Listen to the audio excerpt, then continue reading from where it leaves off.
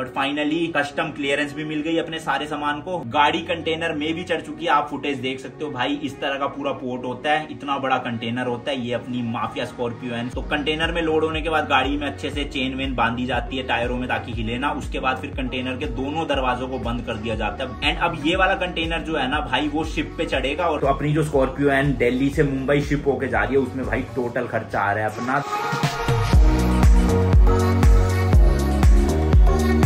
भाई अपनी पार्किंग में थार जो है ना वो बिल्कुल फिट आ गई है। हालाँकि स्कॉर्पियो है ना, इससे लंबी और थोड़ी सी चौड़ी भी ज़्यादा है तो वो ज़्यादा जगह घेरती थी बट थार बिल्कुल फिट आ रही है।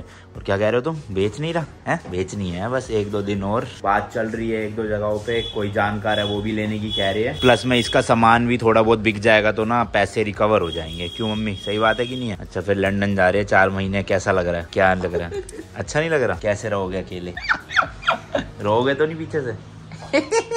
हैं? नहीं रहोगे भाई। साहब तो अभी सुबह सुबह भाई साढ़े सात बज रहे हैं। मैंने सोचा है पूरी सब्ज़ी खा के खा के आई जाए क्योंकि फिर चार महीने तो मिलना नहीं है ये सब कुछ और वैसे ही मैंने काफ़ी टाइम से खाई नहीं है। क्या लाना है? दो कचोरी दो ब्रेड पकौड़े? पैक भी करवा लेंगे पापा के लिए हाँ। किस चीज़ बूंदी का बूंदी का। कितने का? इक्कीस। रुपया कौन प्रसाद देता है आजकल? इक्यावन रुपए मिनिमम चलो जी चलो चले। शाम को कहा? चढ़ाए वहीं पे वो डॉक्टर को भी दिखाऊँगा ना गले वाले को शाम को। क्योंकि अभी वैसे टोनसिल्स है तो नहीं बट भाई फिर भी मैं टोनसिल्स की दवाई लेकर जाना चाहता हूँ ताकि अगर वहाँ पे कुछ भी होते हैं वापस से तो दवाई हो अपने पास। वरना मैंने एक बार थाईलैंड या बाली में दिखाए थे। मेरे टोनसिल्स बहुत तगड़े हो गए थे। भाई साहब, उन्होंने बारह सौ रुपये तो फ़ीस ही ले ली थी और आठ सौ नौ सौ रुपये की दवाई दी थी। वो मैंने ब्लॉग भी बनाया था। तो बाहर भाई, डॉक्टर्स बहुत महँगे हैं दवाइयाँ, बहुत महँगी है, इसलिए कोशिश करा करो। अगर इंटरनेशनल ट्रिप पर जा रहे हो तो इंडिया से ही दवाइयाँ लेकर जाओ अपनी। ज़्यादा बेटर रहेगा। क्यों सही बात है कि नहीं है? है जी? चलो जी ओके बाय हम चले पूरी सब्ज़ी खाने। तेरे को नया दिन ने को नई जर्नी आज है नौ मई 2023 मैं हूँ अबू क्या बोल रहा हूँ मैं? हूँ अभी गुड़गांव में। लंदन से रिलेटेड काफ़ी सारी न्यूज़ एंड काफ़ी सारी अपडेट्स मैं इस वाले ब्लॉग में दूँगा कि अभी तक हम यहाँ से निकले क्यों नहीं है जबकि मैंने आपको बोला था कि हम 8 मई को निकल जाएँगे दुबई के लिए। तो वो क्यों पोस्टपोन्ड हुआ और हमारी गाड़ी का क्या स्टेटस है भाई? कहाँ पहुँची निकली भी है नहीं निकली वो सब आपको इस ब्लॉग में बताऊँगा मैं। क्योंकि ना बैक एंड में भाई बहुत सारे सीन हो रहे हैं, इसलिए मैं अभी खुल के बोल नहीं सकता, एक बार सब चीज़ें सॉर्टेड हो जाए ना फिर मैं बता दूँगा। तो शायद ये वाला व्लॉग जब तक मैं एंड करूँ, चीज़ें सॉर्टेड हो चुकी होगी और होगी होगी तो मैं फिर बता ही दूँगा इसी व्लॉग में। आप ये ग्यारह या बारह तारीख को देख रहे होंगे। तो ठीक है ना? समझ गए ना? बाकी मेरे हिसाब से ये लास्ट ही व्लॉग होने वाला है नॉर्मल इसके बाद भाई दुबई की सीरीज़ स्टार्ट हो जाएगी, ओमान की, फिर यूरोप और फिर सीधा यूके मज़ेदार। नहीं, ईरान और टर्की तो भूल गया मैं भाई, मैं। मतलब रोड ट्रिप में एपिक वाला मज़ा आने वाला है। बच्चे भाई ऑटो में बैठ के स्कूल जा रहे हैं। अपना टाइम याद आ गया मुझे स्कूल का।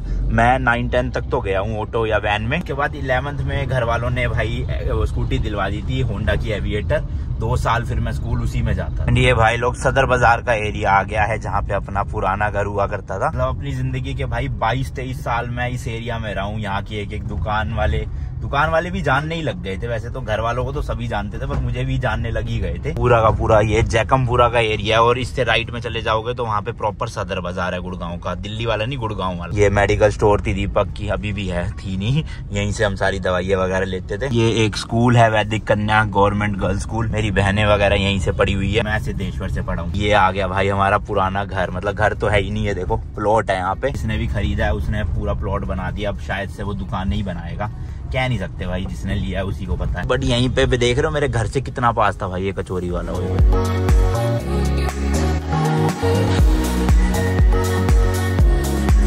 इतनी टेस्टी टेस्टी पूरी कचोरी खा के ना भाई, मज़ा सा आ जाता है। लेकिन खाने के बाद ना रिग्रेट भी होता है कि यार, इतने महीने से कंट्रोल कर रखा था, अभी भी कंट्रोल कर ही लेता, क्यों खाई ऐसे थोड़ी ठीक है भाई, अब हो गया हो गया, क्या करें? ये जो हमारी वॉशिंग मशीन थी ना ऑटोमेटिक वाली, ये भी खराब हो गई थी। हो गई अब ठीक पूरी?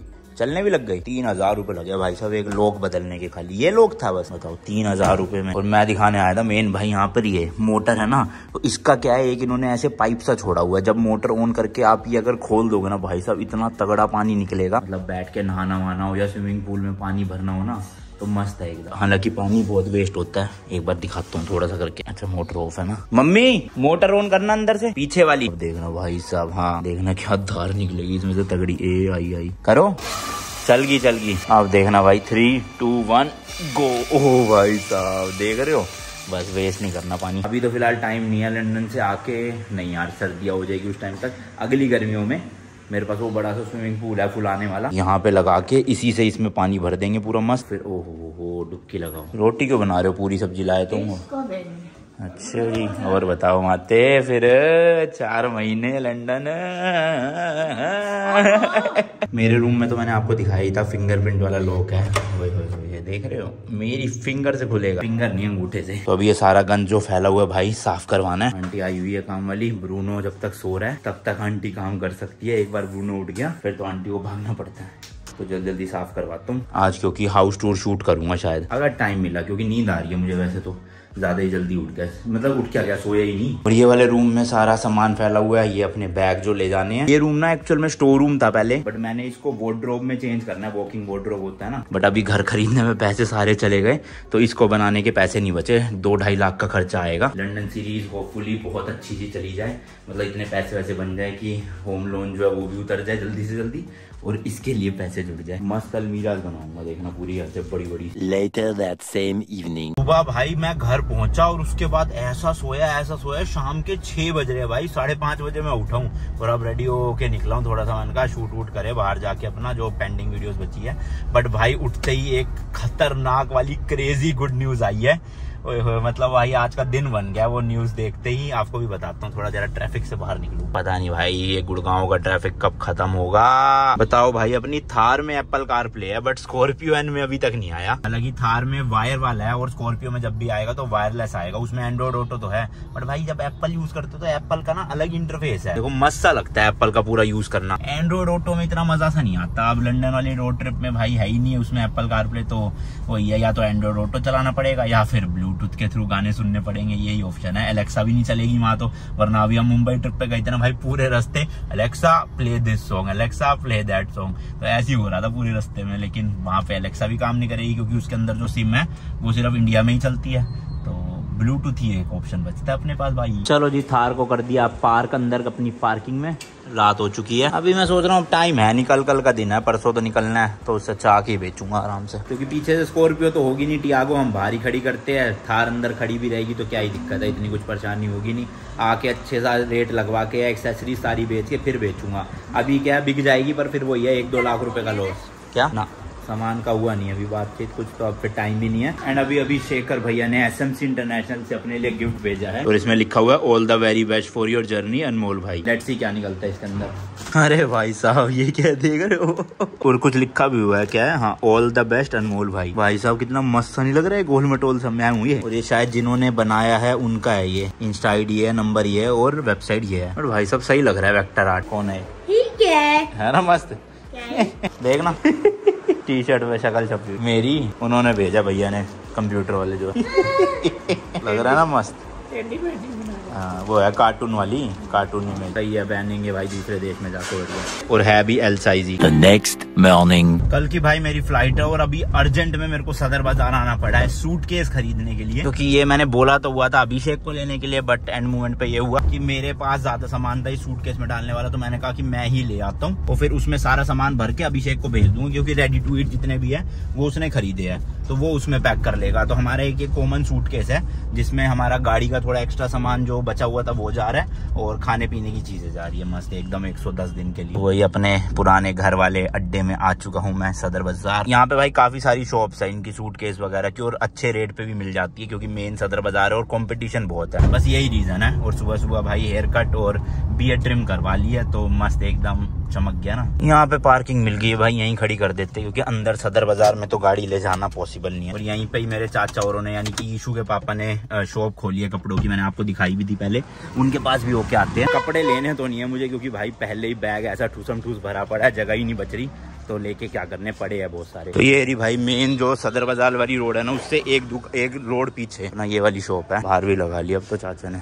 चाची बैठी हुई है। कैसे हो जी, कैसे हो? मैं बाहर अब सही लग रहा है लगा लिया ना वो। पूरा डिस्प्ले अच्छा लग रहा है। जिस दिन वो थी ना, अपना, क्या कहते हैं उसे, मुहूर्त था। हाँ उस दिन नहीं था बाहर की तरफ़ इतना बट अब जो है वो पूरा प्रॉपर हो गया तो कोई बाहर से भी आ रहा है, उसे दिख जाएगा अच्छे से। कहा चाचा? अच्छा ये सो रहे थे। चाचा साथ ही आ गए यहाँ पे लगेज इन स्टाइल यहीं से ले लेते हैं। लो जी, ये वाला सूट के फाइनल कर दिया है। सफारी का लिया, सबसे लार्ज वाले साइज़ का। है तो एम आर पी इसका कुछ सात आठ हज़ार रुपए बट तीन हज़ार रुपए में पड़ा है डिस्काउंट के साथ अपने को। तो इसमें अपना सारा ना खाने पीने का सामान आ जाएगा, मस्त। चलो जी, चलो अभी मुझे बाकी दुबई की फ़्लाइट टिकट्स एंड वीज़ा वगैरह के प्रिंट आउट निकालने हैं, क्योंकि मेरा प्रिंटर हो गया खराब। तो बाहर से करवाना पड़ेगा प्लस ऑफ़िस जाना है, वहाँ से अपना कैमरा उठा के लाना है माइक उठा के लाना है, तार उठा के लानी है। बहुत काम है भाई। आज तो पूरा दिन बाहर भटकना पड़ेगा और अभी तक आपको मैंने बात भी नहीं बताई कि भाई खुशखबरी क्या है। बहुत तगड़ी वाली है। कोई नहीं, थोड़ी देर और वेट कर लो, बस दस पंद्रह मिनट। नहीं, आपके लिए दस पंद्रह मिनट नहीं मतलब आपके लिए तो कुछ सेकंड्स ही होंगे शायद। तो जी ऑफ़िस आ गया हूँ, ये रहे अपने दोनों दोनों ही सोनी के ए सेवन एस थ्री एक लेंस में ले जा रहा हूँ सोलह पैंतीस ब्लॉगिंग के लिए। क्योंकि भाई वाइड एंगल लेंस है एफ़ टू पॉइंट एट है तो नाइट में भी मस्त फुटेज आती है और वाइड एंगल से मस्त ब्लॉग होता है। एक बॉडी ले जा रहा हूँ एस थ्री की दूसरी वाली एंड इसमें लेंस कोई नहीं ले जा रहा। क्योंकि लेंस की ना यहाँ पीछे ज़रूरत पड़ेगी तो मैं दुबई से खरीद लूँगा एक फिफ्टी एम सोनी का। पंद्रह सोलह हज़ार रुपए का होगा। यहाँ अठारह का है वहाँ सस्ता होगा है ना? बाकी एक ही अडेप्टर ले जा रहा हूँ चार्जिंग वार्जिंग के लिए वहाँ पे होटल में। माइक ले जा रहा हूँ ये वाला एक एक ये वाला। मेमोरी कार्ड मेरे पास पड़े हैं घर पे और इनकी बैटरी चार्जर ये सारा सामान मैं यहाँ से लेकर चलता हूँ अभी। चलो भाई आपको भी ना ज़्यादा वेट नहीं करवाता। यहीं पे बता देता हूँ गुड न्यूज़ क्या है? घर जाके तो मतलब और टाइम लग जाएगा ना। तो भाई गुड न्यूज़ अपनी ये है की फाइनली जो अपनी स्कॉर्पियो या माफिया स्कॉर्पियो है ना वो निकल चुकी है भाई मुंबई से। जी हाँ शिप पे भी चढ़ चुकी है एंड साथ ही साथ शिप भी जो है वो मुंबई से निकल चुकी है। मोजा ही मोजा अब हमें ईरान में जाके अपनी गाड़ी मिल जाएगी। कब निकली? कौन से शिप से निकली, कब पहुंचेगी, वो सब डिटेल नहीं बताएँगे, वो सीक्रेट है। बट ये है कि आठ से दस दिन में हम ईरान में होंगे। भाई, आप ये लोग बारह को देख रहे हो? तो लगभग बारह तेरह से आप आठ दस दिन लगा लो। गाड़ी मिल जाएगी फिर। अच्छा आपको मैं बताना चाहता हूँ भाई की चौबीस तारीख को हमने ना गाड़ी दे दी थी वहाँ पे बट चौबीस तारीख से आज दस, ग्यारह तारीख हो चुकी है। इतना डिले क्यों हुआ है? सारी प्रॉब्लम थी भाई कारनेट से रिलेटेड मैंने आपके साथ पहले भी शेयर किया था। जब भी आप गाड़ी का कारनेट बनवाते हो, देखो आप अपनी इंडिया गाड़ी कहीं भी ले जाना चाहते हो ना या वहाँ की सड़कों पे चलाना चाहते हो तो उसके लिए आपको एक डॉक्यूमेंट बनवाना पड़ता है, जिसका नाम है कार्नेट दी पैसे, या कार्नेट आप बोल सकते हो, जिसकी एक मैंने इंडिविजुअल वीडियो बना रखी है, कैसे अप्लाई करना है, कैसे फ़ीस वीस क्या है, वो सब आप चेकआउट कर लेना चैनल पे, शायद से चौथा या पांचवा एपिसोड है। तो होता क्या है ना, जब आप कार्नेट अप्लाई करते हो, या जो एजेंसी इंडिया में कार्नेट इशू करती है वो ना आपसे एक लिस्ट मांगती है कि आप अपनी गाड़ी में क्या क्या स्पेयर पार्ट क्या क्या टूल्स या फिर क्या क्या लगेज का सामान ले जा रहे हो। वो सारा ना कारनेट के टाइम पे ही डिक्लेयर करना पड़ता है ताकि ना उस टाइम पे ही वो आपको जब कारनेट भेजे ना तो एक लेटर देते हैं अपने लेटर हेड पे छाप के कि ये ये सामान गाड़ी के साथ जा रहा है अप्रूव्ड है। तो इससे क्या होता है, जब भी गाड़ी कस्टम क्लियरेंस के लिए जाती है ना तो वो कारनेट के बेसिस पे ना सारा का सारा सामान आपका शिप में भेज देंगे। बट हमारे साथ गलत सीन क्या हुआ? हमने कारनेट बनवा लिया था पहले ही। और उस कारनेट में ना हमने सिर्फ़ आठ से दस चीज़ें ही डिक्लेयर करी थी और उसके अलावा भी हमने बहुत सामान रख लिया, जैसे कि मैट्रेस बनवाया था मैंने गाड़ी का पीछे स्टोरेज बॉक्स बनवाया था, बीच की सीट में स्टोरेज बॉक्स था, ऊपर का रैक था, आगे की लाइट्स थी। तो ये सब कुछ कारनेट में डिक्लेयर नहीं हो रखा था, जिसकी वजह से भाई हमारी गाड़ी 10 से 15 दिन कस्टम में ही फंसी रही। क्योंकि देखो भाई कारनेट में डिक्लेयर करा नहीं था। अब ये सारा सामान एज अ लगेज जा रहा था अलग से, जिसके लिए हमने चौबीस पच्चीस हज़ार रुपए एक्स्ट्रा भी पे करे भाई। तो पैसे तो लगे ही लगे बट इन सामान को क्लियरेंस के लिए भाई दस से पंद्रह दिन लग गए, जबकि अपनी जो कारनेट वाला सामान था ना, जो उसमें डिक्लेयर था, वो भाई कस्टम ऑफिसर्स ने एक ही दिन में वो कर दिया कि हाँ जा सकता है। लेकिन ये लगेज वाला सामान पंद्रह दिन लग गए और फिर एक फाइनल स्टेप होता है लियो करके एल ई ये एक तरह का डॉक्यूमेंट होता है या फाइनल डॉक्यूमेंट होता है, जिसके बाद आप अपनी गाड़ी को कंटेनर में डाल के शिप पे चढ़ा सकते हो। तो ये लियो आने में भी ना दो दिन लग गए थे, शायद से कोई कस्टम ऑफिसर होते हैं, वही ये इशू करते हैं। तो वही था भाई क्लियरेंस का बहुत ज़्यादा पंगा चल रहा था बट फाइनली कस्टम क्लियरेंस भी मिल गई अपने सारे सामान को, वो रेफ्रिजरेटर नहीं जा पा रहा, क्योंकि उसमें गैस थी ना। और साथ में इंजन ऑयल नहीं जा पा रहा। तो इसके अलावा सारे सामान को क्लियरेंस मिल चुकी है। गाड़ी कंटेनर में भी चढ़ चुकी है। आप फुटेज देख सकते हो भाई, इस तरह का पूरा पोर्ट होता है। इतना बड़ा कंटेनर होता है। ये अपनी माफिया स्कॉर्पियो एंड सागर लेकर जा रहा है कंटेनर के अंदर। भाई समझ तो देख रहे हो क्या माहौल है? हालाँकि मैं वहाँ पे था नहीं बट भाई मज़ा सा आ गया वीडियो देख के। मैं उठाना दिल खुश हो गया ये वीडियो देख के। और मैं खुद होता, वहाँ पे तो अच्छे से ब्लॉग करते बट फिर भी फुटेज सागर ने बना के भेज दी हमारे लिए।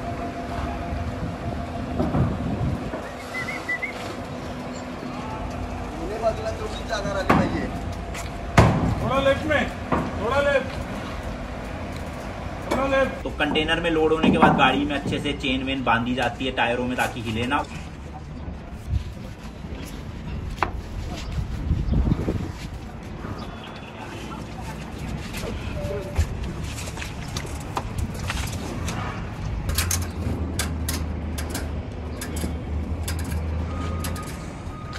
उसके बाद फिर कंटेनर के दोनों दरवाजों को बंद कर दिया जाता है, बहुत भाई बल्कि से और ह्यूज से दरवाजे है।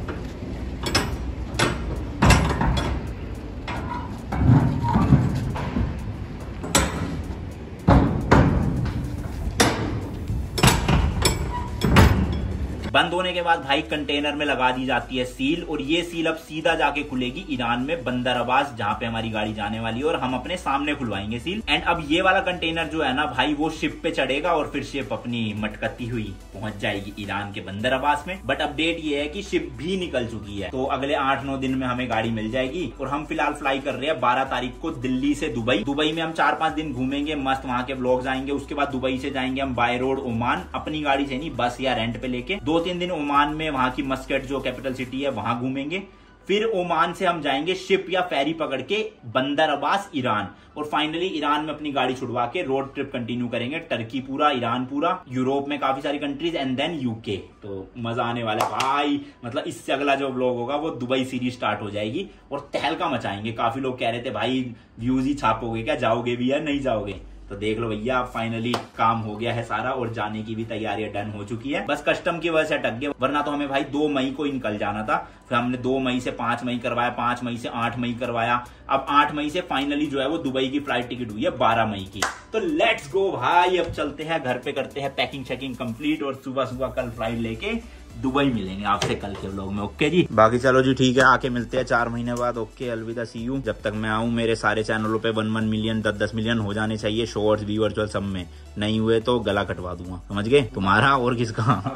तो अभी मैं एडिट कर रहा था और मैंने ध्यान दिया कि पूरी वीडियो में मैंने प्राइस तो बताया नहीं भाई कि मुंबई से ईरान पहुँचाने में गाड़ी का टोटल खर्चा कितना आ रहा है। तो आप लोगों से सब कुछ शेयर कर ही रहा हूँ तो मैंने सोचा भैया ये भी कर दिया जाए। तो अपनी जो स्कॉर्पियो एंड दिल्ली से मुंबई शिप होकर जा रही है, उसमें भाई टोटल खर्चा आ रहा है अपना दो लाख रुपए का। ये दो लाख रुपए के अलावा भी भाई दो सौ, ढाई सौ डॉलर यानी पंद्रह से बीस हज़ार का और खर्चा आएगा ईरान में। वो पैसे हमें बेसिकली वहाँ के कस्टम में एजेंट जो होते हैं, उनको देने पड़ते हैं ताकि वो हमारी गाड़ी छुड़वा सके। बाकी इंडिया में जो है वो अराउंड दो लाख दो लाख बीस हज़ार के आसपास में गाड़ी चली जाएगी। और ये प्राइजेस भी ना भाई डिपेंड करते हैं, ऊपर नीचे होते रहते हैं। क्योंकि जो फ्रेट के चार्जेस है ना भाई, वो डॉलर्स में होते हैं। तो कभी आठ सौ डॉलर कभी हज़ार डॉलर फिर उसके अलावा भी सौ चीज़ें होती है। तो मैंने आपको टोटल पूरा पैकेज बता दिया। हमारा जो है वो दो लाख रुपए लगे अभी फ़िलहाल में। और फ्यूचर में आपका हो सकता है एक लाख अस्सी हज़ार में भी हो जाए और हो सकता है ढाई लाख में भी, वो डिपेंड करता है प्राइजेस ऊपर नीचे और डॉलर के रेट पे। और जो ईरान का सीन होगा, कैसे हम वहाँ पे गाड़ी छुड़वाएँगे क्या क्या प्रोसीजर है, वो आपको ईरान वाली वीडियो में ही मिलेगा देखने को, इसलिए।